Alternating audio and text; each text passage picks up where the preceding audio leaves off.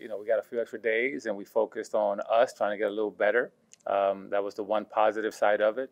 But we are looking at this as, you know, let's try to hit a stride here before we get to, you know, hopefully a conference tournament. And, you know, we all know that once you get to your conference tournament, records don't really matter. You know, you have to, you just got to show up and play that day. Um, and that's kind of the message as we move forward.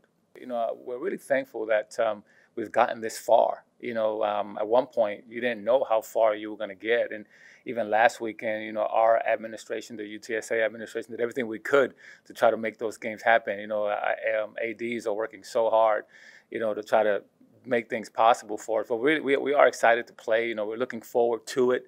Um, unfortunately, we got to finish the season with back-to-back road games and um, you know and then go on the road again so we'll be you know gone here in, for, for three weeks in a row so uh, it'll be an opportunity for us to spend more time together and continue to you know bond and, and, and continue to improve and get better but there is definitely excitement about you know getting to the end and trying to see how far we can take this we are just focusing on on us getting better, but also making sure that we understand how they like to play. You know, it's a big team. They like to play, you know, through their their big guy who's one of the better, you know, bigs in the in the, in the conference. You know, has um, size, ability, can shoot it.